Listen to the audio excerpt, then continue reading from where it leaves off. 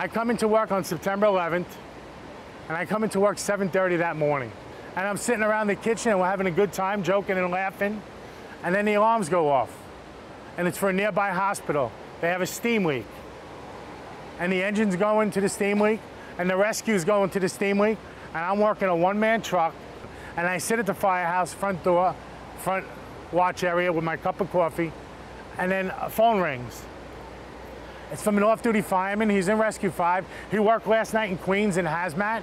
He's coming home on a BQE, and he tells me, Bill, I just saw a plane hit the Trade Center. I said, I am in no mood for fooling around today.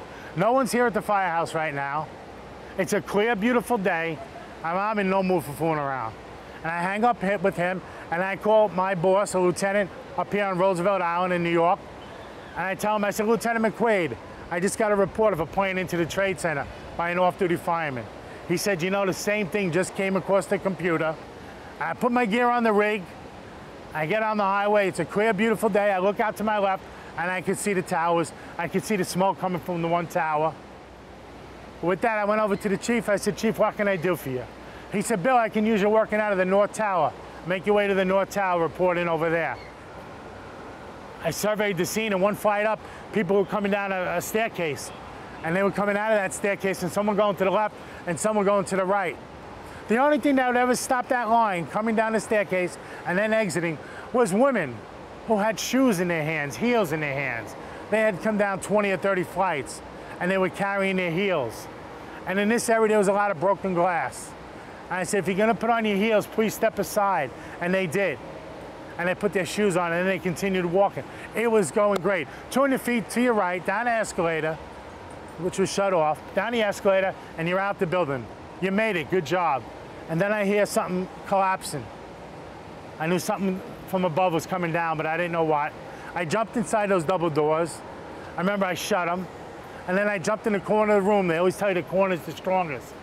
I jumped in the corner. There was a pipe there. I hugged that pipe. I had my flashlight that over my shoulder, up at the people. And the noise got deafening. Everything went black. And I said to myself, well, it's a matter of moments. And then it stopped. It was still pitch black, but now it was silent. You could hear a pin drop. And then just a couple moments later, I started to hear people screaming. I said, these are the people on the other side of the door.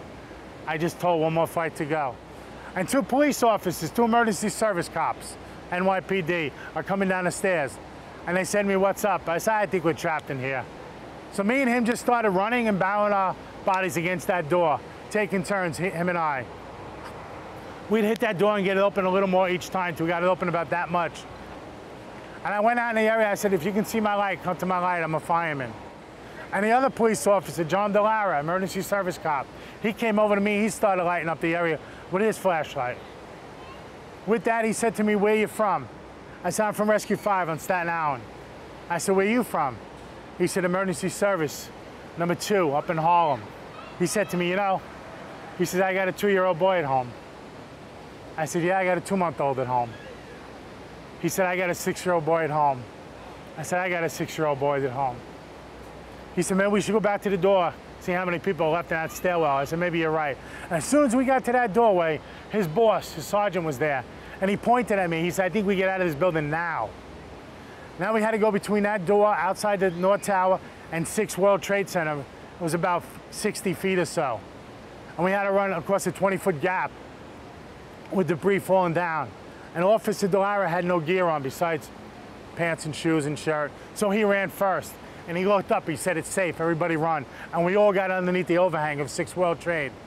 And about 40 feet away, I saw a window about this high up it began, and it was already broken out. And I said, if anything happens, that's the window I'm going for. Well, we weren't out of that building 30 seconds. And I heard the North Tower coming down on top of us. I never looked up.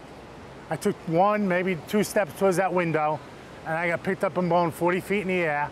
I remember smacking into the wall. I fell down. I tried, tried once, and the second time I made it up into the window. I crawled underneath the desk. I pulled the chair out so I could put my head under the desk, and I got in a ball and I just started getting buried. The noise was deafening again. And then I said, this is it. And I said goodbye to my wife. I said goodbye to my two kids. And when I said goodbye to my two-month-old, I said, man, you'll never know your dad. That hurt like hell. That night I was in the hospital, and I get a call from my brother-in-law, Tommy, and he's in Rescue 5 also. And he said, Bill, did you get the information? I said, what info? And he said, all the guys from 5 are missing. I started giving him every name of guy I had breakfast with. And he said, Bill, they're all gone.